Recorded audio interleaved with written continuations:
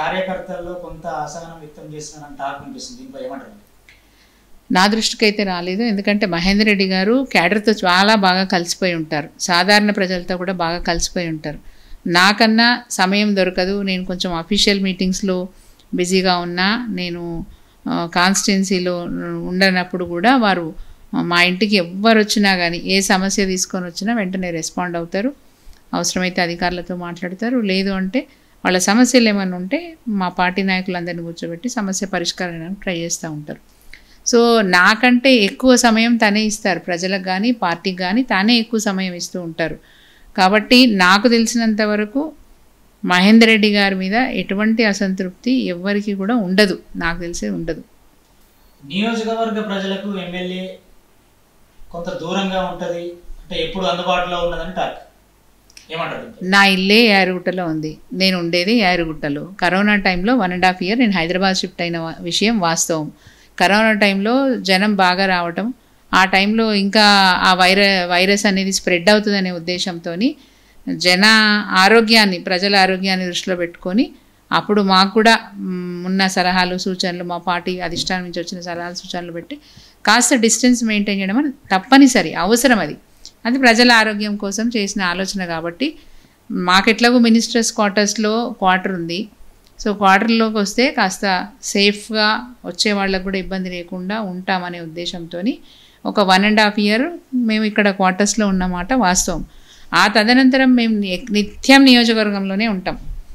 వారంలో ఐదు రోజులు ఆరు రోజులు నియోజకవర్గంలోనే గడుపుతాం.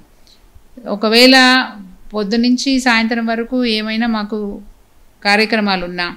నియోజకవర్గంలో వివిధ గ్రామాలలో వివిధ మండలాల్లో పర్యటన చేయాల్సిన పరిస్థితి ఉన్నప్పుడు తిరిగి వచ్చి మళ్ళీ సాయంత్రం అయితే యారుగుట్టలో ఉంటాం. ఉదయం మా ఇంటికి ఎంతోమంది వస్తారు. ప్రజలే వస్తారు. మా కార్యకర్తలు వస్తారు. మా నాయకులు వస్తారు. ఏమైనా పనులు ఉంటే చేయించుకొని పోతూ ఉంటారు. సో ఇది మేము అక్కడ ఉండము అనే మాట అవాస్తవం. మేము అక్కడే ఉంటాం. క్షరేశ్వర స్థాయిలో ఉంటాం. ఇంకా నేను లీడర్లు మాత్రమే వస్తున్నారు.